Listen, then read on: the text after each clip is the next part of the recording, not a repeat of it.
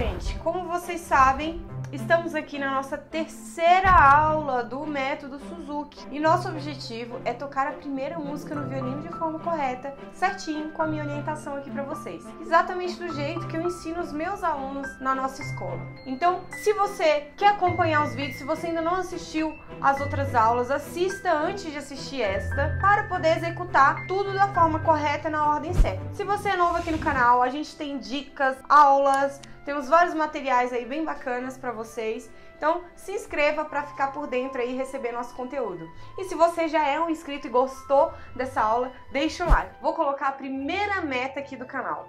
Então, quando tiver 100 likes esse vídeo, eu vou soltar a quinta aula do Suzuki. Então, compartilhe com aquele amigo, com aquela amiga, com aquele parente que gosta de violino, quer aprender, porque essas aulas estamos partindo do zero. A gente já viu chocolate quente, aprendemos os ritmos de chocolate quente no violino, em todas as cordas. Aprendemos na escala. Hoje eu gostaria de trabalhar com você um exercício. Você vai tocar o seguinte, você vai tocar a Mi solta e em seguida três dedos na corda Lá. Então a gente vai fazer essa brincadeira. Mi solta, três dedos na Lá. Ou seja, o nome do três dedos na Lá é a Ré.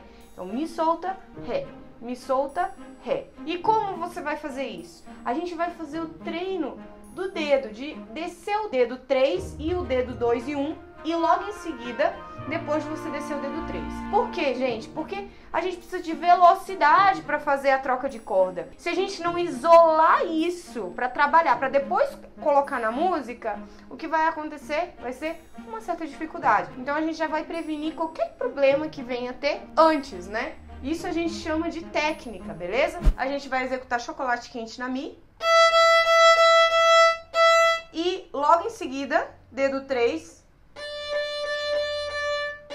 Vocês perceberam que durante o chocolate quente eu desci o dedo 2 e o dedo 1? Isso que vai acontecer. E desce os dedos. Então, eu toquei o Mi, desço 3 e em seguida eu coloco 2 e 1. Né? Isso de forma rápida. Por quê? Porque depois a gente vai precisar ir para o segundo dedo, que é o Dó sustenido, e para o primeiro dedo, que é o Si. Então, para isso eu já preparo, porque se eu deixar o dedo no ar, eu tô contando com a sorte para acertar o Dó. Eu conto com a sorte para acertar o Si. E o violino não é sorte. O violino é técnica, beleza, gente?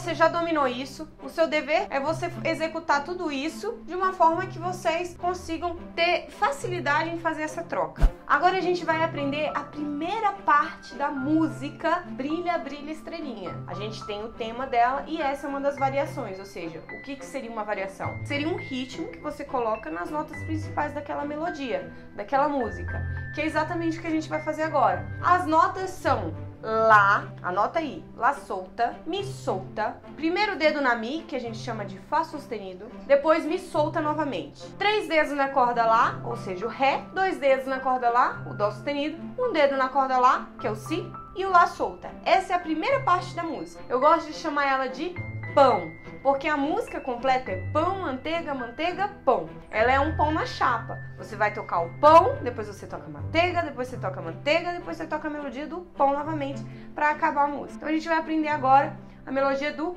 pão. Então vamos lá, a gente vai executar o chocolate quente em cada uma dessas notas e eu vou falando para vocês. Vamos lá, chocolate quente na corda lá.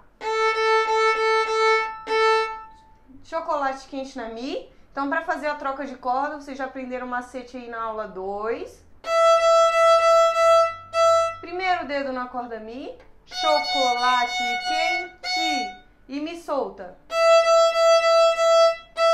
Três dedos na Lá. Dois dedos, Dó sustenido. Um dedo na Lá.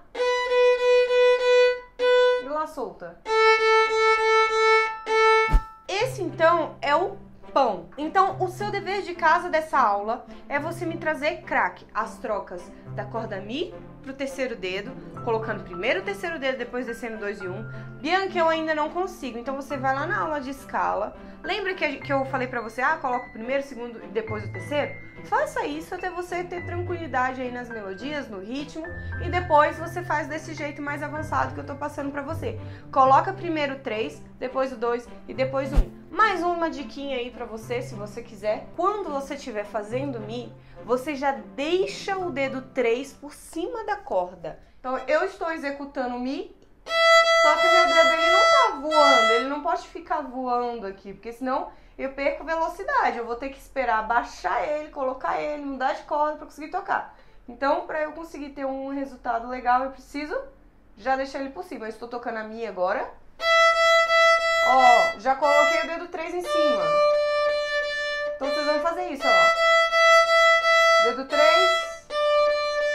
Eu já deixei ele em cima. Então, como eu já deixei ele bem próximo, o que, que acontece? Eu só preciso pressionar ele um pouquinho na corda para poder sair som. Tá lembrando, gente? Não aperta a mão, não dobra pulso. Tem uma aula aqui sobre os vícios de mão esquerda, os problemas que a gente tem na mão esquerda. Assistam ele, não deixem passar. A gente já viu a importância aqui em várias aulas. Se você ainda não viu, assista alguns vídeos aqui do canal, que a gente está sempre falando a importância da postura, do posicionamento, da base. Outra coisa, organize os seus estudos, já comece desde agora a organizar os seus estudos. A gente tem aqui abaixo um planner gratuito para vocês baixarem, só fazer o cadastro com o e-mail de vocês. A gente tem um grupo no Telegram, caso você não saiba, um grupo super legal. A gente está sempre alimentando conteúdo lá, a gente responde várias dúvidas de vocês aqui do YouTube, lá em videoaulas, em áudios em imagens, a gente manda indicações de métodos, de livros, então vale super a pena. O link também para entrar no grupo do Telegram tá aqui na descrição. E lembrando a nossa meta, 100 likes, eu solto para vocês a próxima aula, beleza? Porque esse vídeo aqui dá trabalho de fazer, dá trabalho de editar, e eu tô abrindo o jogo aqui, o segredo do violino passo a passo para vocês. Então, esse conteúdo é de valor, funciona, eu faço com os meus alunos, nada melhor do que receber de volta de vocês só um likezinho, beleza, gente?